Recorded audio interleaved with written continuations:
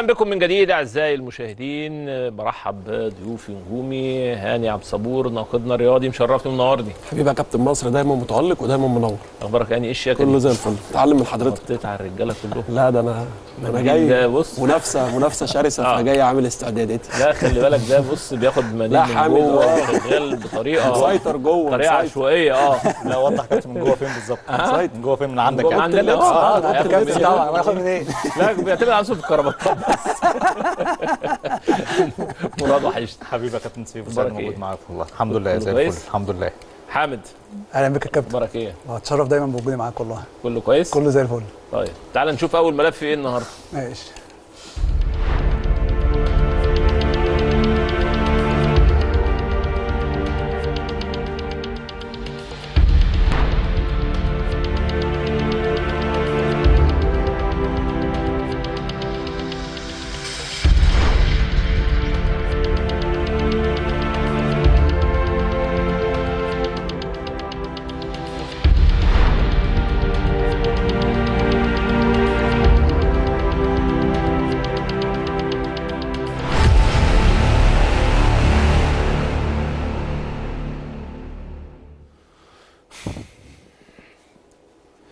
ده ال- الموقف ال- الحالي. هو مباراة الأهلي والزمالك هو موضوع الساعة وكنت عملت نداء في بداية الحلقة للأندية إنها تقعد وتجتمع وبتاع. اتصل بيا في الفاصل عدد كبير من الأندية. قال لي إحنا بنحط تصور للمسابقة الجاية يعني في أول السنة اللي جاية للمسابقة القادمة. فواضح إن خلال الساعات القادمة يعني مش هيكون في جلسة. ده اللي أنا حسيته. وفي نفس الوقت برضو كلمت آه، حد من مسؤولي نادي الزمالك. قال لي إن القعدة مع الرابطة كانت قعدة يعني ودية حتى لو فيها اختلاف وجهات نظر ولكن ما كانش فيه خلافات. يعني بغض النظر عن القرار اللي هياخده الزمالك أو القرار اللي هتاخده الرابطه العلاقات قصدي طيبة ما فيش ما يسعي إن إحنا نقول يعني خلاف ولا موضوع ولا قصة ولا الدنيا ماشية بشكل يعني هادي.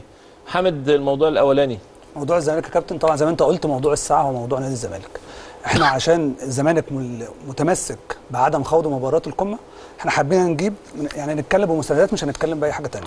دلوقتي يا كابتن إحنا معانا مستندات دو رابطة الأندية المحترفة موسم 23 24 طيب في الصفحة رقم 19 المادة 51 بتقول إذا اعتبر الفريق منسحبا واست- واستكمل المسابقة تطبق عليه التالي. أول حاجة توقع عليه الغرامات المالية طبقا لفئات المسابقة التي يحددها مجلس إدارة رابطة الأندية قبل- قبل بداية كل موسم.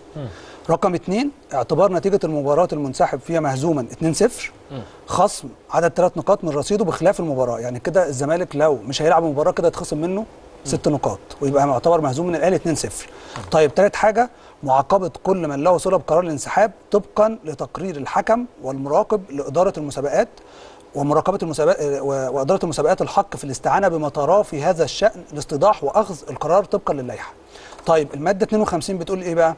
إذا اعتبر فريقا منسحبا ولم يستكمل المسابقة توقع عليه غرامة مالية طبقا لفئات المسابقة التي يحددها مجلس الإدارة قبل بداية كل موسم. طيب أول حاجة إذا كان انسحابه في الدور الأول تلغى نتائج مبارياته مبارياته السابقة ويعتبر كأنه لم يشارك في المباريات ده لو هو انسحب في الدور الأول زي الزمالك بيتكلم بس الزمالك دلوقتي بيتكلم اللي هو عايز يلعب مباراة الدور الأول وبعد كده ينسحب طيب لو كان انسحابه في الدور الثاني اللي إحنا فيه اللي الزمالك مش عايز يلعبه دلوقتي تبقى نتائج مبارياته كما هي في الدور الأول بالنسبة للفرق الأخرى وتلغى نتائج مبارياته التي شارك فيها في الدور الثاني وكانه لم يشارك في الدور الثاني. فكده الزمالك هيبقى عنده 32 نقطة وفاضل له ماتشين. يعني أ- أقصى رقم هيوصل له هو 36 نقطة.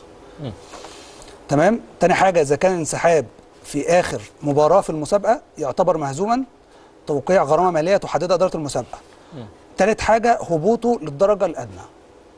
فدي هتبقى فيها مشكلة الزمالك هل هيصمم اللي هو يكمل الدوري وما يلعبش أصلا ولا هيعمل إيه إن شاء الله بإذن الله ده مش هكمل. آه اكمل لك بس. رقم أربعة تختص لجنة شؤون اللاعبين بالنظر في قيد لاعبي النادي المنسحب والنادي الذي توقف عن الاستمرار في المسابقة.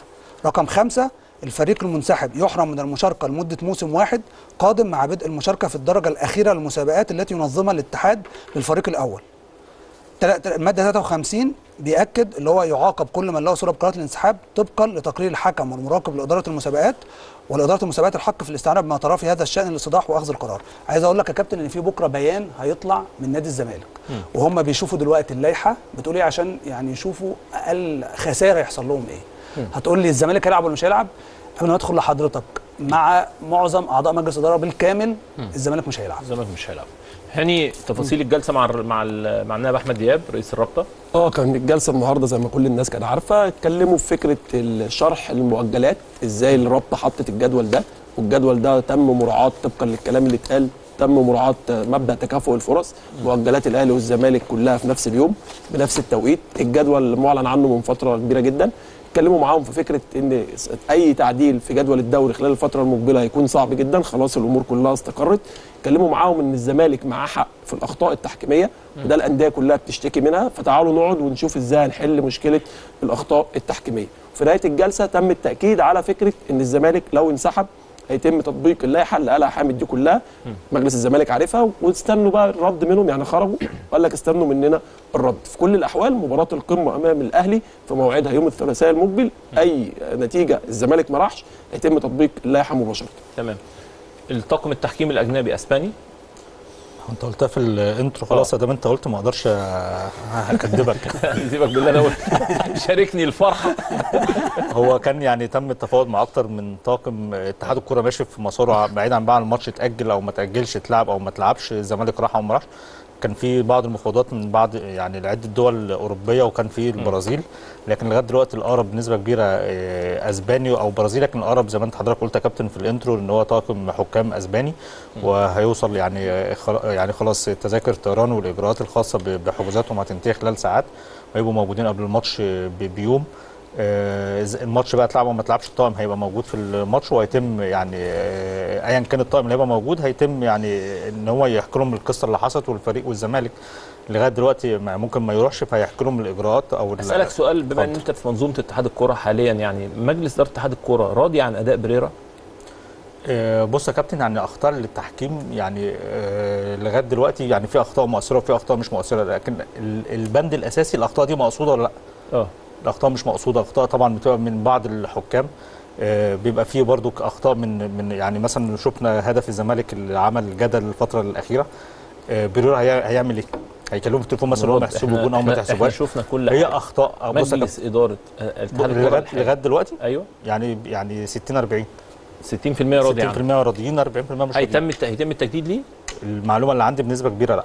يعني بريرا أعتقد إن هو نهايته خلاص مع مع نهاية ال- ال- الفترة اللي عقده في في شهر يعني في 8 أو حاله 9 رضا عنه. يعني ما أنا بقول لك يعني في 60% من المجلس موافقين على قرارات بريرا وعلى ال وعلى ال الح- القرارات اللي بيعملها وعلى التطوير اللي بيعملوه لكن بعض الحكام. يساندوه فالراجل يجدد بعض لا يعني لغاية دلوقتي بقول لك بنسبة 60% يعني هم موافق- موافقين على قراراته أو موافقين على قراراته. هيمضي أقول لك العكس يعني 60% لا يمشي 40% يجدد لازم يجدد. يعني في 20% مقتنعين بالراجل وعايزين يمشوه؟ ما أنا بقول لك لغاية دلوقتي إن هو يجدد أو لا بنسبة 60% لا مش هيجدد. ماشي.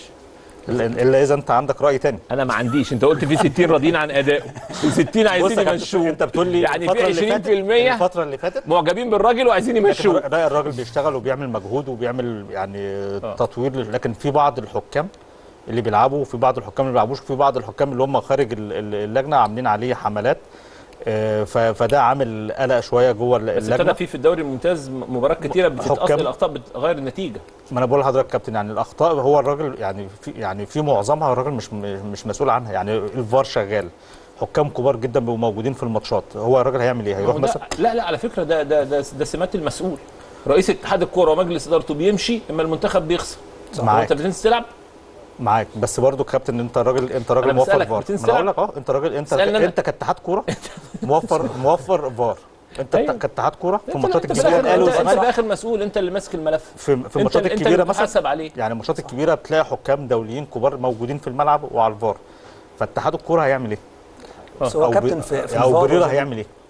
انت فاهمني؟ فلكن أنا بقول لك لغاية دلوقتي من ناحية ال- إن هو يكمل أو ما يكملش لأ بنسبة 60% مش هيكمل مش هيجددوا له. كده كده عشان يجدد له لازم ياخد موافقة وزارة الشباب والرياضة. لأن يبقى لو جدد له لمدة سنة آه، بره مدته. بره مدته فلازم موافقة. ما أعتقدش إن الوزير الوزارة هتوافق. على موضوع زي ده. هو كابتن الفكرة بس في ال- في الفار. هو طب ما هو الفار أخطأ في الهدف بتاع الزمالك إن بير محمدي دخل. ما هو ده برده من خطاب الزمالك إن بير محمدي دخل. ما هو ده منظومة التحكيم برضه. أيوه طب ما أنا بقول برد على مراد يعني آه. التحكيم. ما هو الراجل إزاي ما ي- ما يتكلمش مع الحكام آه. إن هو الحكم ما- الفار اللي هو كان الكابتن محمود البنا ما خلاش الحكم أنت ليه يرجع ماسك يشوف أنت ليه ماسك اللقطة دي النهارده ماتش إمبي؟ ماشي ما أنا بقول لك أنا بتكلم عشان بتكلم الحكم على في الزمالك لقطة راجل آه، فاول رسمي راح حط جول. صح.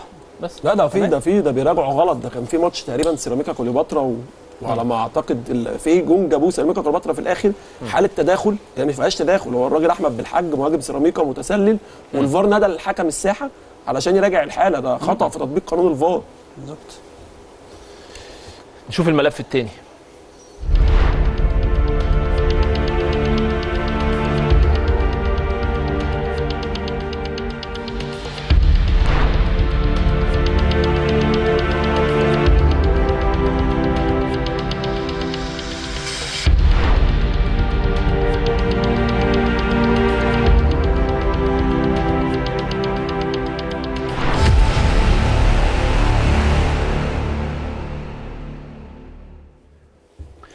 نرجع بقى ونخش برضو على جوميز كده سريعا قبل ما نناقش عروضه. جوميز راح لجنة آه، الانضباط.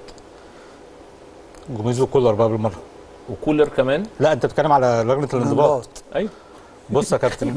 معانا كده موضوع جوميز ده. معايا متكلم سؤال غير اللي كان على الشاشه استنى أسئلة صعبة يا كابتن. مراد ركز معايا انت مالك ومال الشاشه. انت جاي معايا ولا مع الشاشه يعني ده أسئلة بره المنهج؟ سيبك من المنهج دلوقتي هنرجع له. لا هو كنت بقول لك كلام حلو على كولر. آه. ناس ناس كتيرة بتتكلم طب ليه لجنة المسابقات ما خدتش عقوبة؟ لأنه إن هو يعني بيقول لك إن ال- الحاجات دي ما جاتش في تقرير مراقب المباراه فبالتالي الحاجات دي تم تحويلها للجنة الانضباط آه، وهيتم التحقيق فيها مع يعني هيستدعوا الحكام ويستدعوا آه، جوزيه جوميز يعني يسمعوا إيه اللي حصل بعد الماتش. فده كان السبب الرئيسي في في احاله آه، موضوع جوميز مع الحكام للجنه الانضباط. بص يا كابتن بقى في موضوع جوميز عشان بس يعني برضو إحنا معانا حاجات رسمية مستند رسمي. بص قصة جوميز يا كابتن هو طبعا دفع الحكم الرابع اللي هو الكابتن عاطف حسين في صدره. تمام؟ الكابتن عاطف حسين كان المفروض في الماتش يطلب الكابتن أحمد الغندور اللي هو يجي ويطرد جوميز. ده ما حصلش مع إن من حق حكم المباراة حتى بعد انتهاء المباراة وهم رايحين غرفة خلع الملابس يقدر اللي هو يطرد أي حد. فالكابتن عاطف حسين بعد انتهاء المباراة قال للكابتن أحمد الغندور نصا قال له دلوقتي آه، أنا حفاظا على المباراة أنا ما رضيتش أبلغك إن جوميز عمل كذا. فقال له أنا دلوقتي هكتب في تقرير المباراة مش التقرير اللي هو زي ما مراد بيقول مش تقرير المباراه لا كتب في حاجة منفصلة اللي هي سير المباراة. قال له إن أنا هكتب اللي أنت بلغتني بعد انتهاء المباراة عشان أكون واضح معاك. وده اللي حصل. طيب خلال الأيام اللي فاتت كله كان بيتكلم إن واقعة ضرب ال- الحكم لاحد المساعدين أو الحكم أو مساعدينه ال- المدرب عفوا للحكم أو أحد مساعدينه دي غرامة 8 مباريات و100000 جنيه. عايز أقول لك يا كابتن في اللائحة اللي هي الموسم الحالي بتقول في بتقول الاعتداء بالضرب على الحكم أو مساعديه أو أحد مسؤولي تنظيم المباراة 8 شهور و200 ألف جنيه. آه. طيب دلوقتي الناس بتتكلم إن ال إن ال إن ال إن واقعه آه، جوميز ما اتكتبتش في تقرير المباراة. عايز أقول لك برضو من ضمن ال- اللائحة في تقرير حكم المباراة إن المادة 93 بتقول يقدم الحكم تقرير من صورتين ترسل الصورة لجنة الحكام وأخرى لجنة المسابقات. المادة 94 بتقول يجب على الحكام إبلاغ الجهات المختصة عن كل اعتداء جسيم يقع عليهم من اللاعبين أو الجهاز الفني أو الإداري أو الطبي.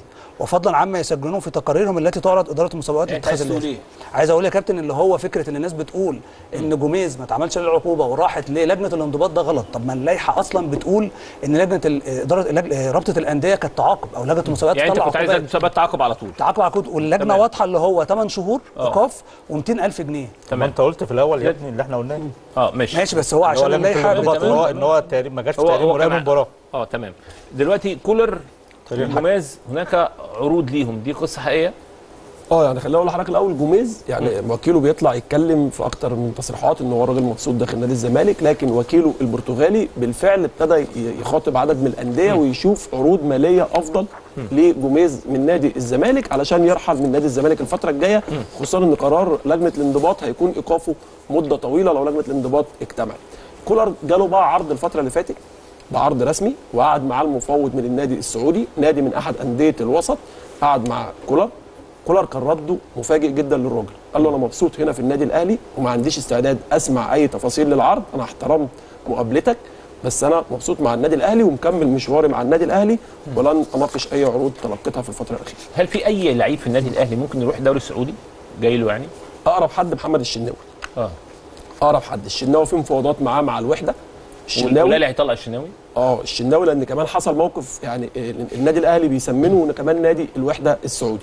آه، لما كلمه محمد الشناوي اتصل بالكابتن محمود الخطيب فاتفق محمد الشناوي مع الكابتن محمود إن هو هيأجل أي مناقشات في العرض بعد ماتش القمة لأن ماتش القمة محتاج تركيز كبير جدا. فبعد ماتش القمة هيكون في جلسة هيتم الموافقة مناقشة العرض الوحدة السعودي. وهيتم الموافقة على رحيل محمد الشناوي تقديرا لتاريخه الكبير جدا وخلاص مركز حراسة المرمى في النادي الأهلي بقى مؤمن بوجود مصطفى شوبير ما بقاش فيه أي مشاكل فنية فالأهلي هيوافق على رحيل محمد الشناوي للدوري السعودي إذا كان العرض بقيمة مالية تليق بمحمد الشناوي.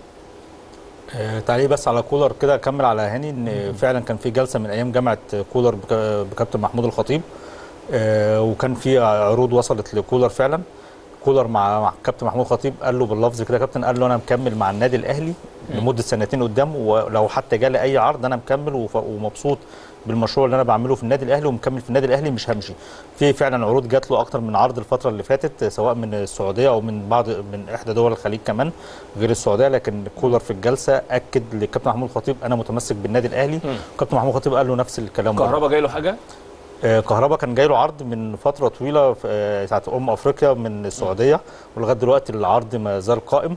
آه، الأهلي يعني لغاية دلوقتي في محاولات من كهربا إن هو يعني يعني آخر الموسم يروح للدوري السعودي لكن لغاية دلوقتي ما فيش حاجة رسمية تمت. آه، كان في برضو بمناسبة كهربا كابتن آه، كولر برضو قعد امبارح مع اللعيبة كلها بعد بعد الماتش. آه، منهم كهربا تحديدا. وطلبوا إن هو يعني كهربا طبعا من اللعيبة الكبيرة واللعيبة المؤثرة وخاصة بعد يعني اقتراب رحيل مودست خلال أيام. طلبوا إن هو يعني الفترة اللي جاية يرجع لمستواه اللي هو كان معروف عنه وإن شاء الله الفترة اللي جاية يعني هيبقى مهاجم من النادي الأهلي مع أسامة أبو علي الأساسي. تمام. نطلع فاصل ونرجع بعد الفاصل نكمل حديثنا مع نجوم.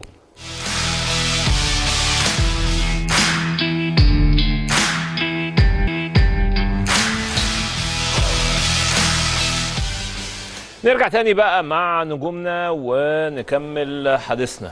طيب مودست. مودست. مودست يا كابتن المفروض عقده ينتهي مع النادي الأهلي بنهاية الموسم. ونهاية الموسم بالنسبة له مش نهاية الموسم اللي هو الدوري المصري اللي هو هنقعد بقى لشهر 8 ولا 9 فهو مودست بالنسبة له عقد خلاص. يعني هو كده يعتبر free هو إلا ده كلامك. تعال. نشوف الملف بيقول إيه. ماشي.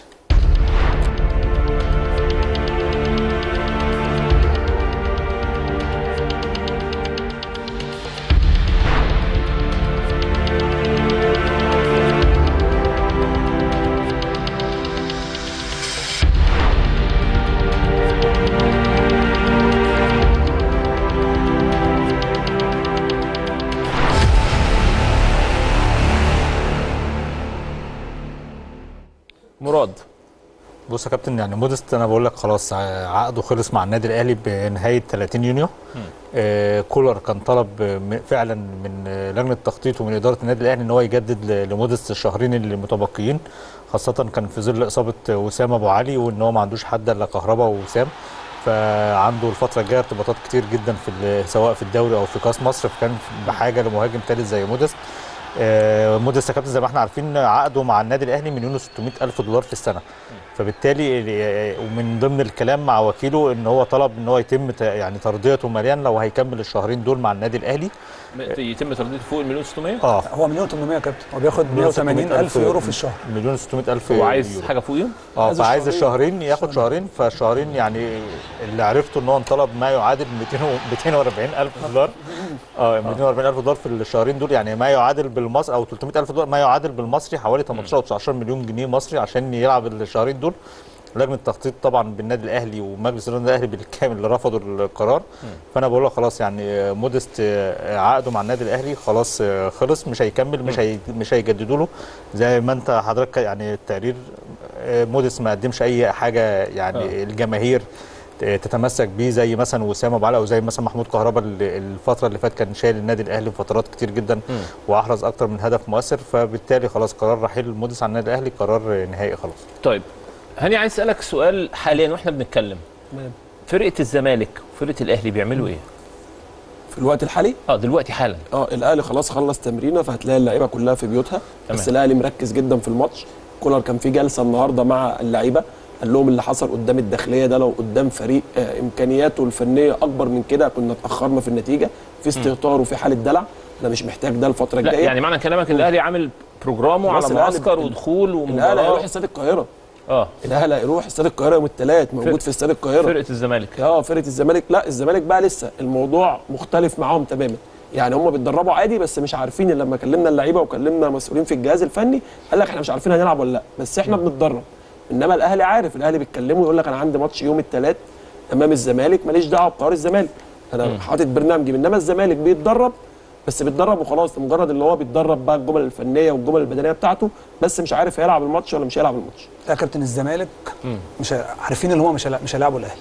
حتى جوميز ما كان بيتكلم في المؤتمر الصحفي اللي إحنا عندنا مباراة يوم 25 كلام جوميز عشان الناس اتكلمت إن معناه اللي هو يلاعب الأهلي. أو اللي هو مش عارف هيلاعب مين ما هو عارف يلاعب الأهلي. لا كلام جوميز إن هو متبلغ من الإدارة إن أنت يوم 25 مش هتلاعب الأهلي مستنيين اللي هو رابطة الأندية أو لجنة المسابقات هت- هتجيب فريق تاني يلاعب الزمالك اللي هو من الدور الأول على كلام مسؤولين الزمالك لجوميز.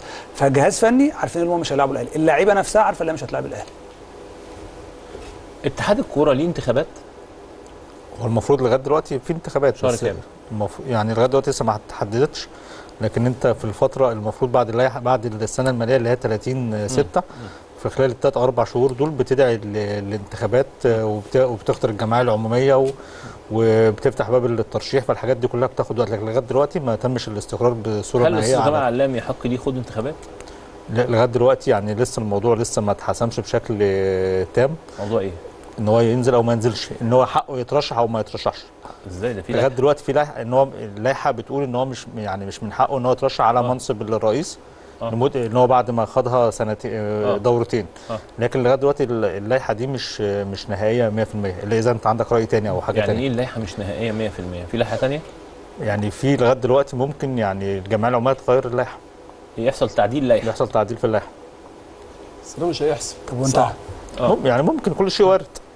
بس ده يبقى فيه مش كل شيء هيبقى وارد. صعب هيبقى صعب. أعتقد يعني كل الشكاوى رد يعني غريب شوية. ما أنا بقول لك يعني ال- اللائحة القديمة ما انت أنت اتحاد الكورة كل ثلاث أربع سنين بيتغير اللائحه ما إحنا غيرنا اللائحة كام مرة في السنة ال- آه بس بس يعني مثلا مثلا. أقول لك حاجة مثلا أيام عمرو الجنايني. طب أسألك سؤال. هو مين اللي. هيسعى مين اللي هيسعى لتغيير البند ده؟ يعني ممكن ممكن بعض الأندية تطلب إن يبقى في تعديل لل- للترشح على على بعض المناصب منهم منصب الرئيس. هي, أصلا الأندية يعني ده الأندية مبسوطة أصلاً مش- الكورة أنا ما. بتكلمش على شخص يا جماعة أنا بتكلم على إن في بعض المناصب يعني مثلا مثلا من ضمن الكلام اللي إحنا سمعناه الفترة اللي فاتت إن ممكن يبقى منصب النائب يبقى اتنين نواب. اتنين نواب. اثنين نواب. آه يحصل تعديل للائحة. تعديل للائحة في بعض ال- المناصب. يعني مثلا أقول لك حاجة أقول لك. حاجة أقول لك حاجة طريفه أقول لك حاجة طريفة مش. موافقه يعني أقول لك حاجة طريفة مثلا. يعني مثلا أيام عمرو الجنايني كان الفيفا كان مبعوث له لائحة وإحنا شغالين بلائحة تاني خالص. آه. يعني كان في لائحة مبعوثه للاتحاد الدولي من المجالس اللي قبل كده. يعني أنا أنا أنا طبعا ما أعرفش أنا بعيد عن الجمعية العموميه ولكن أنا أؤكد لك إن موضوع النائبين ممكن يكون بند مطروح.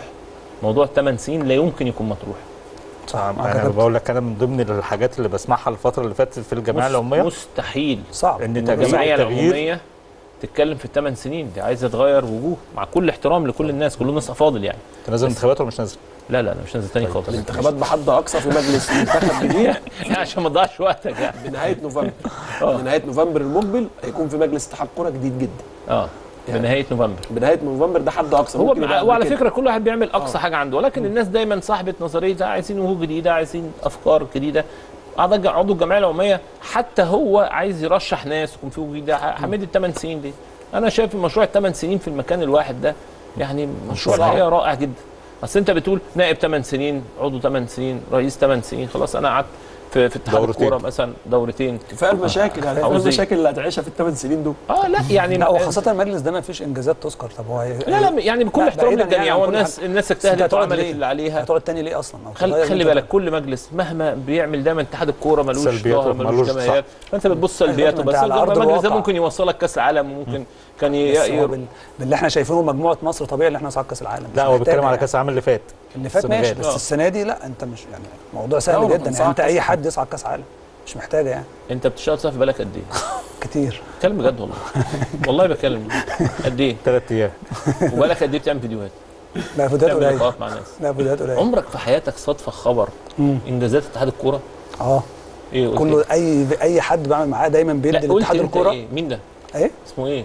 أي حد بقعد معاه أي حد مين. أنت يعني أنت أي أنت, حد. أنت ممكن ممكن مرة مسكت القلم كده وقلت انجازات اتحاد الكورة. حتى لو حاجتين من 100 تمام. ما تتقالش. لا لا بس هو الانجازات إيه يا كابتن. طب ماشي. ده مراد أرض الواقع الكوره في المنظومه الاعلاميه عمره ما كتب طب ماشي طب هو على أرض الواقع إيه الإنجازات يا كابتن؟ ما هو ما كتبش عشان ما فيش بص إنجازات. لا برضه في حد أيوة. ما عندوش إنجازات بص هو كابتن هو على أرض الواقع. كل حاجة فيها. كل حاجة فيها كابتن نجاحات على أرض الواقع. طب إيه النجاحات هو الجمله دي الجملة دي خلي بالك قاسية. جدا. هو الجملة دي ما فيش. حد في الدنيا يعني ما حدش يقدر ينتقدك. مثلا أنت حامد يقول لك إيه أصل حامد ده ما عندوش معلومة مظبوطة. أكيد عندك معلومات مظبوطة. غلط زي يعني سيف زي المراد كابتن دلوقتي بتيجي تحاسب ما فيش إنجازات يا. كابتن بتيجي تحاسب الأهلي والزمالك بتقول إيه المجلس ده آه. جاب كام بطولة وده جاب كام بطولة. ماشي. اتحاد الكوره بقى عمل إيه؟ عم عنده عنده عنده عنده, عنده- لا. إنجازات عنده حاجات كويسة وعنده سلبيات. ماشي، بس السلبيات؟ اتحاد إيه؟ الكوره والحكام؟ ما لهمش أكتر. بص يا حامد حامد يعني حامد. أنت بس هو دايما اتحاد الكورة يا كابتن. الحكام ما لهمش ظهير هو اتحاد كابتن الكوره طول عمره مش- جماهيريا واعلاميا عارف نفس فكرة؟ طب استنى نرجع بعد الفصل نكمل. حديثنا